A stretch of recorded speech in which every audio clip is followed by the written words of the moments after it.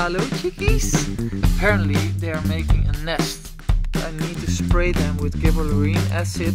I decided to finally do a cover with myself. Oh, pause for a second because I need you if you're seeing this to like the video and to subscribe because I need to accomplish my goal of 5000 subscribers this year. Also check out my Facebook page, my Instagram because the goal for 5000 followers is also accounting for those social media networks. Enjoy the rest of the video and let me know what you think.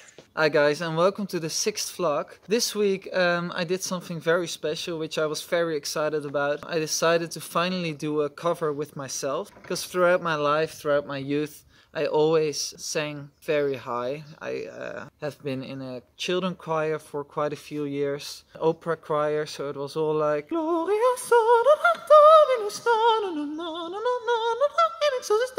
and as you can hear, if I practice a bit, I can still do it. And thanks to having been on that choir, I still can listen to that kind of music and still enjoy it and still feel the urge to sing it myself too. And that in combination with being a fan of Celine Dion made a perfect match for me to sing both vocal lines on the prayer. And with a song like that, in which we all should pray, obviously there has to be another setting than just this wall or just my living room. Of course, it has to be a church. I pray we'll find your light.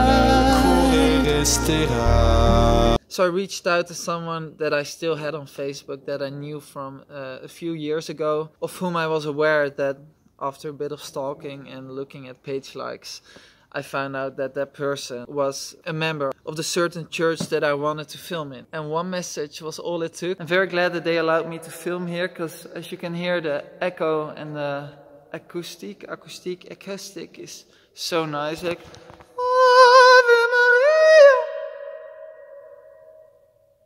and you'll see a part of the result now. Um, if you want to see the whole video, go to my channel and you'll find it there and uh, let me know what you think. I hope this one goes very big because I'm pretty proud of it with those high and low vocals. So. Sogniamo un mondo senza più ognuno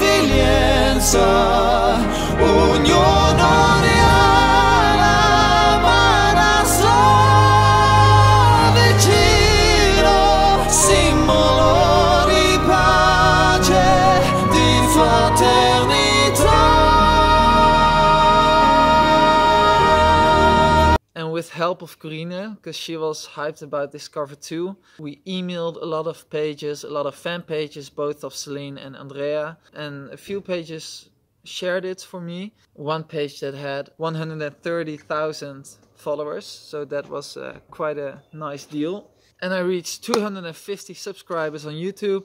I reached 500 likes on Facebook, so that's going the right way. And um, what I also needed to do was for university a practical that uh, we're not able to conduct at the university itself because still corona and I'll talk you through that in the next part of the vlog. It's Thursday now, I just woke up and I just showered entirely cold and it gives such an energy boost. you can tell my excitement about this is real because you can't possibly sponsor or get paid for promoting a cold shower so yeah, the environment, but the environment doesn't have a lot of money. Yesterday I tried uploading the vlog because um, I finished editing it at around 11 I think p.m. and it should have been online before 12 because that would be Wednesday. But the program Premiere Pro crashed. So now I'm heading to my computer and start to render it again and then put it online.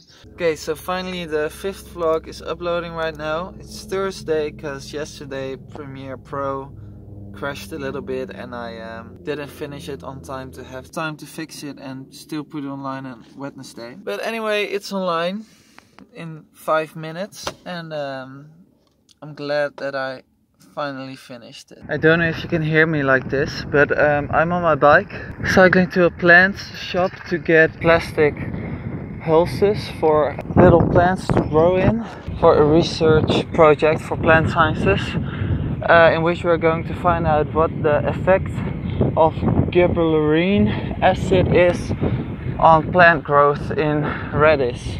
So as you can see, I managed to get the plastic hylses, or I don't know what else it's called. And with a little help of my brother, I sew the radish seed in it. And now they just have to emerge uh, from under the ground and as soon as they get above the ground I need to spray them with gibberellin acid like a few times a week. Because that's a growing hormone and we want to study the effect of that hormone on the size of the radish when it's full grown. So we have four groups, one Blanco group uh, without any gibberellin acid added to it. And then we have three amounts of groups that we are gonna spray with gibberellin acid. So low, average and high amount of gibberellin acid. And eventually we think that the more gibberellin acid you add up till a certain height, the bigger the radish will be in diameter. It's gonna take 8 weeks to conduct this experiment, so I'm not sure if you are gonna find out what the results are going to be, because I don't know if I'm still vlogging by then. We'll find out about that. And a fun thing by the way, here's a bird cage that my grandfather made a few years ago. And it was just standing here and when I was preparing these uh, plastic things, um, I saw a wasp flying in there. So I thought, what the uh, is it supposed to do there? Apparently they are making a nest. Like that. Most of you may think, oh my freaking god, remove that shit. But I actually find it quite interesting to see what happens and how big it will get to be. So I'm just gonna let it stay there. And don't tell my parents. And an update on the chickens. Hello chickies! They finally started to lay eggs. Now we have an average of 3 eggs a day. Well, you don't see anything, but uh, it's about the message. So now we can finally enjoy a fresh laid egg every morning laid by our own lovely, beautiful chickies. Oh, that's gross. That's gross. Alrighty, Heidi, that's all for now. I hope you enjoyed watching. Uh, let me know what you thought of it and see you next week. Oh, little goose. Oh my god! Yo.